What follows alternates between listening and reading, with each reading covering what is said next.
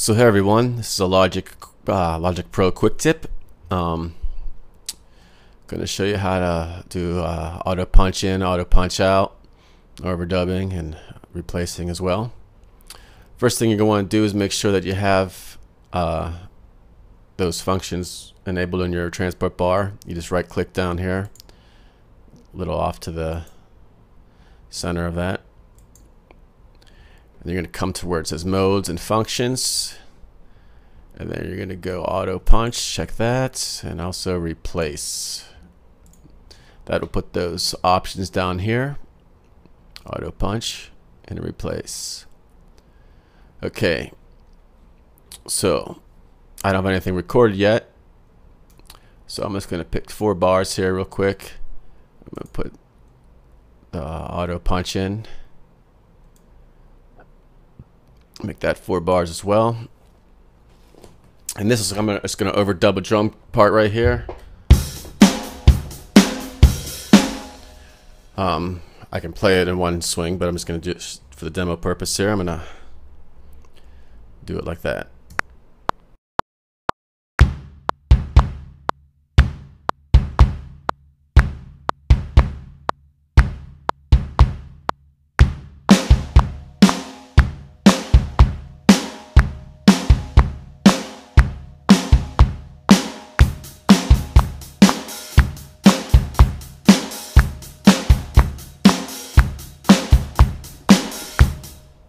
Okay. That's a little sloppy, so I'm just going to quantize that real quick for the purpose of this demo. Quantize that 16th notes, and then we got our beat.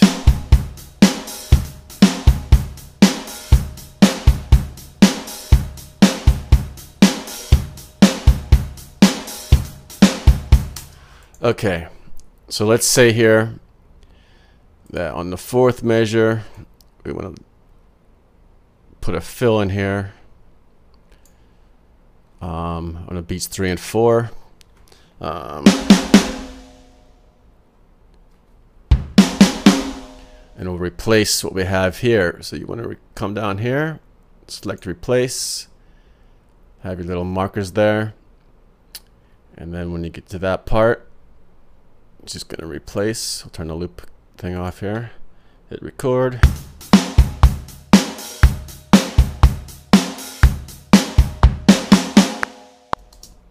Voila. Replace that part. Um, and you have the whole part as such.